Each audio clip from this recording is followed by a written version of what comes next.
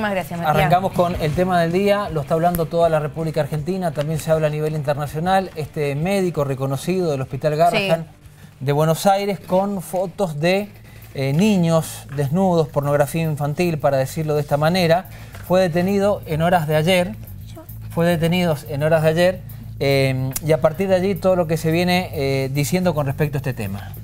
Sí, bueno, allí estamos viendo las imágenes, ¿no? Eh, estamos hablando de este prestigioso, porque en su eh, profesión, ¿no? Es un reconocido y prestigioso médico pediatra que trabaja en esta entidad pública, en el hospital Garrahan.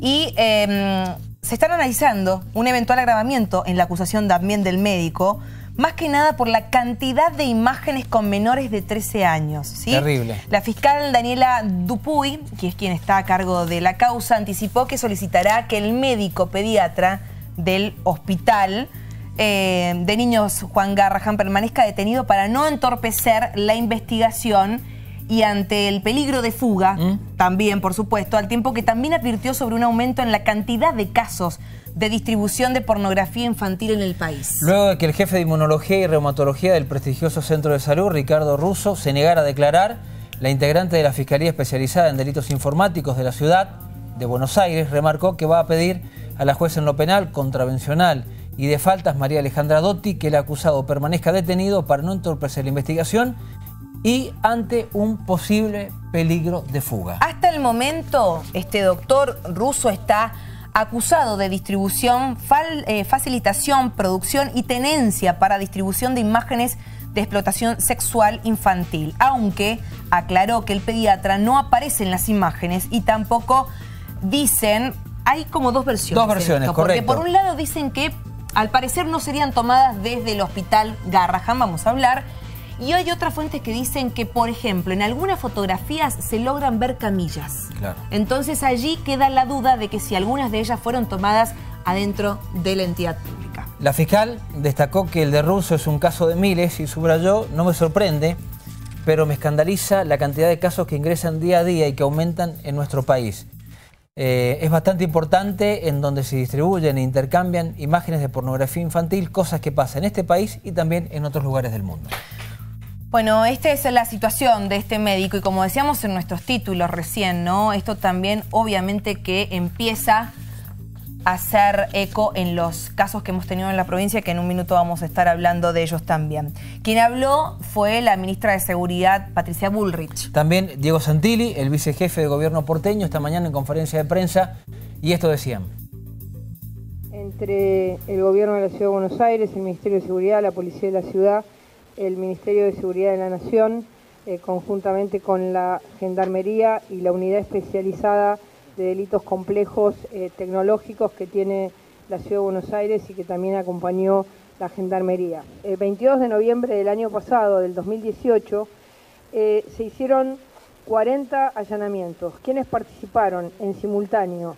Homeland Security, que son de la Embajada de Estados Unidos, el Ministerio Público Fiscal Nacional y el Ministerio Público Fiscal de la Ciudad de Buenos Aires, la doctora Dupuy, que lamentamos que no haya venido, pero que hizo un trabajo realmente de excelencia, la personal de la Gendarmería Nacional y de la Policía de la Ciudad. Estos 40 eh, allanamientos se hicieron en simultáneo en Brasil y la Argentina.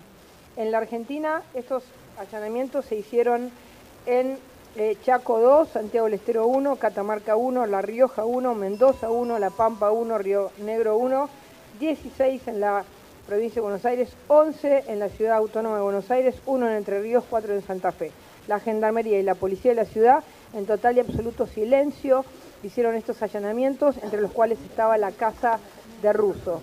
Ahí eh, se secuestraron 91 pendrives, 99 discos rígidos, 36 discos portátiles, 23 memorias RAM, 4.228 CDs, Blu-rays y todo este tipo de material, 66 CPUs, 57 notebooks, 23 tablets, 76 cassettes y 11 cámaras fotográficas. Es decir, todo material, eh, algunas pistolas, pero bueno, eh, no era el objetivo. El objetivo es un sistema de eh, encriptado de trabajo en la, Deep Web o en la web profunda, en la que distintas personas participan de intercambio de material de eh, niños en situaciones realmente terribles, eh, el uso sexual, el abuso eh, de, los, de los niños y de las niñas.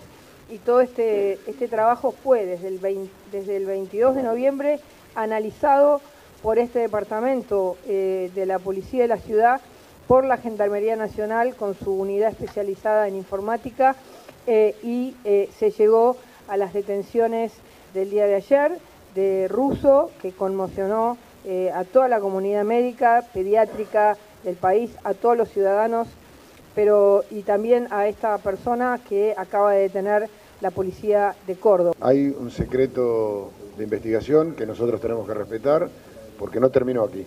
Hay que seguir trabajando y hay mucha más información que estamos procesando. Eh, segundo, la investigación da un allanamiento eh, en noviembre del año pasado, pero después la justicia tiene que probar, y la justicia es la que tiene que determinar eh, la aprehensión de las personas o la no aprehensión de las personas. Entonces, lo que hizo eh, Homeland Security con el Ministerio, el Ministerio Público Fiscal de Brasil es tener información sobre algoritmos que tanto ciberdelitos como la justicia tenían que producir esos allanamientos. Entonces, todo ese, ese trabajo se realizó en noviembre, allanamientos. A partir de ahí eh, está el proceso de prueba. Hay imágenes médicas, pero hay que determinar todavía de dónde son. Hay que determinar de dónde son. Entonces, eh, hay imágenes como si fuera sanatorio, pero no, no podemos decir eh, lo que está investigando la, la doctora Dupuy y la doctora Dotti.